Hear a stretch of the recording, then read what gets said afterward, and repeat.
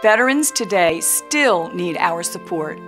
That's why Safe America has launched a national website called Vet TV that offers information from a variety of sources, including the VA, offering free advice on anything from emotional trauma, such as PTSD, or everyday issues like paying bills.